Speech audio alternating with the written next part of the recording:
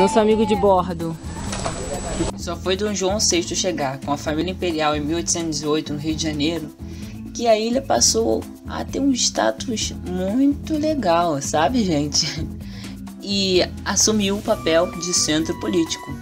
Só foi a família imperial chegar que várias pessoas, como nobres, personalidades importantes, passaram a frequentar e não só isso, como também morar na ilha. Uma dessas pessoas foi José Bonifácio de Andrade e Silva, patriarca da independência, que em 1829 afasta-se da corte por motivos políticos e se exila em Paquetá. Com a colonização e o crescimento da cidade, Paquetá passou a exercer um papel muito importante como produtora de hortaliças, frutas, legumes e pedras de cal para construções.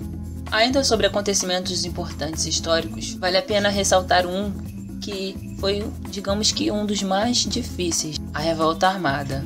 Em 1893, a Marinha de Guerra deflagrou um movimento insurrecional contra o governo do Marechal Floriano Peixoto. Paquetá foi involuntariamente base de operações para os revoltosos, ficando isolada do Rio de Janeiro por seis meses. Muitas famílias tiveram que se afastar da ilha. As baixas foram intensas e, ao final da revolta, muitos paqueteenses foram severamente punidos, sob o argumento de que teriam colaborado com os revoltosos.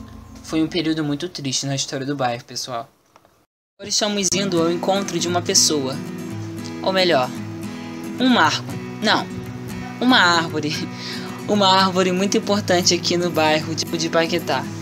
Em 1967, 10 árvores da ilha foram tombadas pelo Instituto Estatual do Patrimônio Cultural, o INEPAC, para, para que de pé essas lindas árvores continuassem no futuro. Entre elas está a Maria Gorda, a mais famosa do bairro, o famoso baobá, plantado há mais de um século na Praia dos Tamoios, de origem africana e com seus quase 3 metros de diâmetro.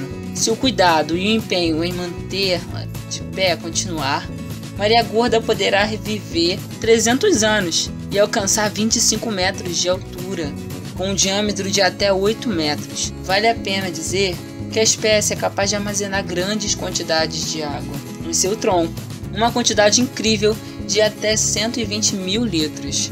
Muito maneiro, não é mesmo, gente? É muito importante preservarmos e cuidarmos daquilo que a natureza nos oferece. Charada da Baía de Guanabara. Já? Olha o fedor. Já tá ali, ó, na barca. O cheirinho de peixe podre.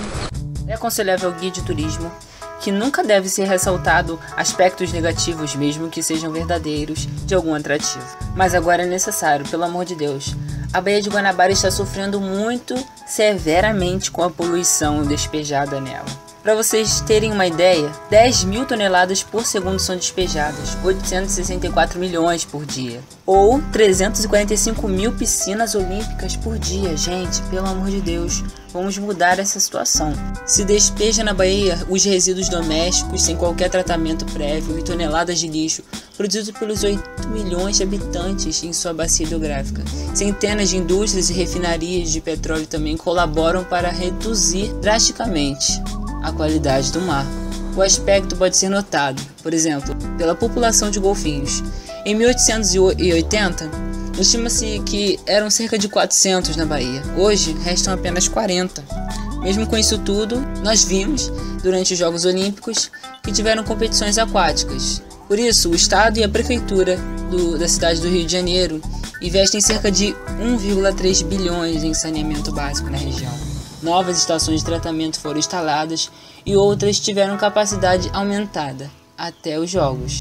Finalizando nossos atrativos aqui na ilha de Paquetá, essa é a igreja matriz daqui, dedicada ao Senhor Bom Jesus do Monte. Ela fica aqui na Praia dos Tamoios, o número é 45. Construída por Manuel Cardoso Ramos em 1763 e estava subordinada à igreja de Nossa Senhora da Piedade, que fica em Magé, até 24 de janeiro de 1810. Nessa data mesma, foi oficializada como a igreja matriz da freguesia de Paquetá. Até 1875, todos os sepultamentos na ilha de Paquetá eram feitos no antigo cemitério do Bom Jesus.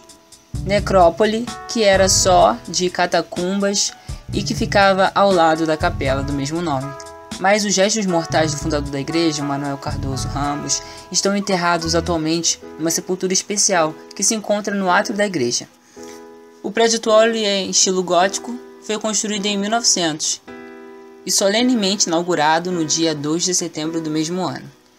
E desde então passou por muitas reformas. Pouco sobrou do seu aspecto original, como por exemplo as colunas de madeira e todo o madeiramento de sustentação do telhado da nave, com um casco de navio invertido, o que pode ter alguma relação com o fato do comendador Antônio Martins Lage, presidente da antiga Companhia Férrea de Navegação, ter sido responsável pela construção desse novo templo. Olivia, acabou. Estamos voltando para nossa grande metrópole.